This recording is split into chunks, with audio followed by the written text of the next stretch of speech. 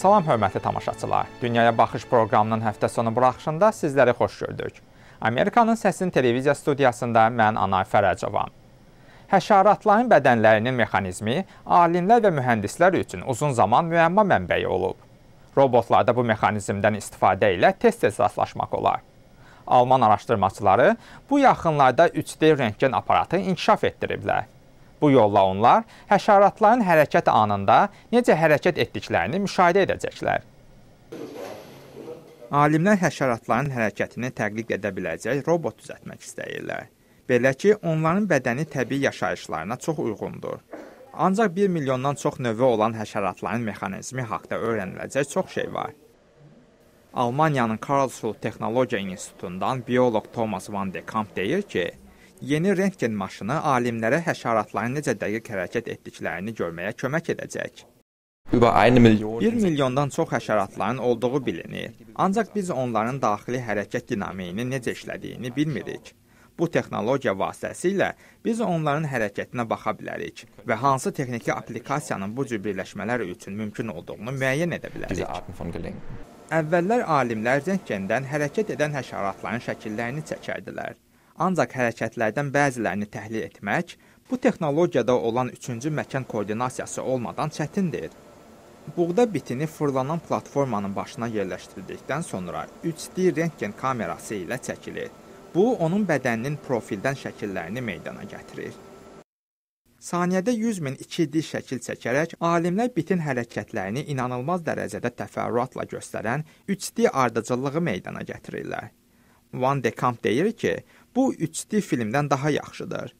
Aber im Gegensatz zum 3D-Kino, wie man Bizim bildiyimiz eynəklərlə baxılan 3D filmlərlə qarşılaşdırdığımızda iki gözlə gördüyümüz virtual 3D perspektivindən fərqli olaraq burada həqiqi 3D görüntüsü var.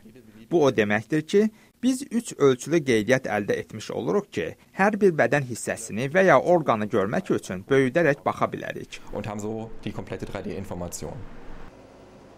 Alimlər deyir ki, sinotomoqrafiya adlanan bu proses onlara olduqca kiçik nümunələrə 3D olaraq sadəcə iki istiqamətdən deyil, min istiqamətdən baxmaq imkanı verir.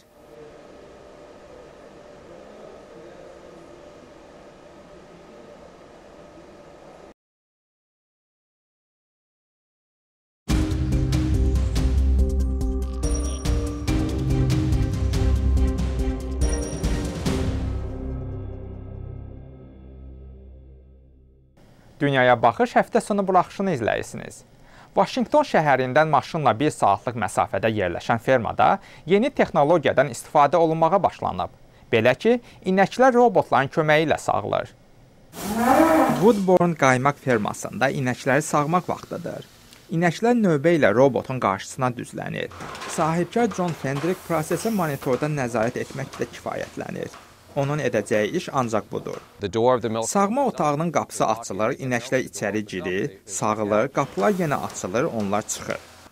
Robot demək olar ki, bütün işi görür. Lazerdən istifadə edərək məmələrin yerini tapır, təmizləyir və lüləni taxır. Avtomatik olaraq südün təmizliyini yoxlayır və əks halda qəbul etmir, yerə tökür. Əmcəkdə süd azaldığı zaman proses dayanır və inək azad edilir. Sağıcı robotlar artan sayda ABŞ-da, Avropada və Avstraliyada istifadə olunur. Fendrick deyir ki, robotlar fermalarda iş həyatını tamamilə dəyişdirib. Bu sizə mahiyyətcə azadlıq verir. Beləliklə bu mənə və ya mənim işçilərimə fermada başqa işlərlə məşğul olmağa şərait yaradır. Fermalarda sağıcılar hər gün səhər və axşam olmaqla 2 dəfə bu işi görmək məcburiyyətindədirlər. Ancaq Fendrickin inəkləri otlaqda istədikləri qədər qala bilir və istədikləri vaxt sağılmaq üçün gəlir. Fendrick hətta onlara nəzarət etmək üçün orada olmağa ehtiyac görmür. O öz mobil telefonundan inəklərə nəzarət edir. phone. I Mən mobil telefonda demək olar ki, fermada etdiyim bütün işləri edə bilirəm. O hər bir inəyin axırıncı dəfə nə vaxt sağıldığını və nə qədər süd verdiyini öyrənir. Beləliklə o hansı inəyin çoxdan sağılmadığını tapır. Robotlar ucuz deyil. Bu Fendrikə 150 min dollardan çox başa gəlib. Ancaq o deyir ki, inəkləri sağmaq üçün kimisə işə götürmək elə də ucuz deyil. paid off the 3 difference. il ərzində mən bunu ödəyəcəyəm və artıq sağıcı axtaran fermerlərdən olmayacağam.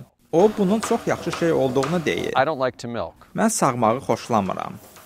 Robotla buna heç ehtiyac da yoxdur. O təxminən gündə 475 litr süd əldə edir və heç bir inəyə toxunmadan.